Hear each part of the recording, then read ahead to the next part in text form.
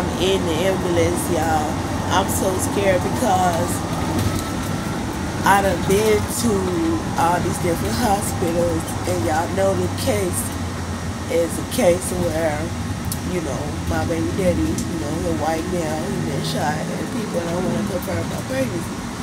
Like, this really to me, I have to get some medical care. Because I've been walking around, I done fell out. I can't breathe no more, like, I can't. So I don't know what these doctors is gonna say because to me it's more like the system. You know what I'm saying? Like the system. It's like the system wanna just deny it. Period. Just the system.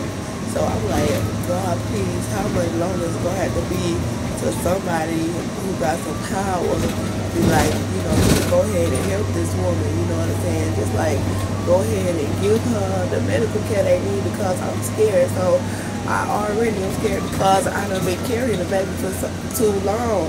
I should have been gave birth. So the fact that if my is still alive, you know, my baby's still alive, this is what's even more scary for me because, you know, um, this child needs some medical care. We need, I need to know what's going on. Um, and I need somebody who can be there and be supportive now God in there, but as far as like the medical staff, we have not had that.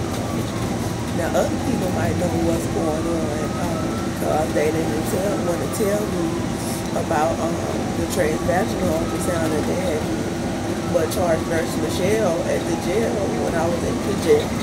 She confirmed that I was pregnant with a doctor, but because I shot someone and because I shot a gun, people did not want to confirm my witness. But I can't keep trying to walk around with the baby in me and the baby moving. And I mean, it's like, it's a lot of freedom movement.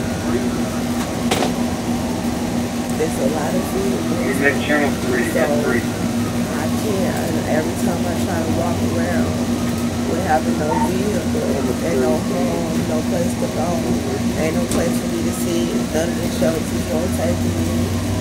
So I feel out because I didn't know I was going to be. So I was I needed to lie down and I needed help having to lie down the shit against me. I know the system I want to confirm that I'm flexible based on the case and the facts to the case. You know, I just say people just fired before he's in their to just be like, I know she shot Austin Mary, but you know,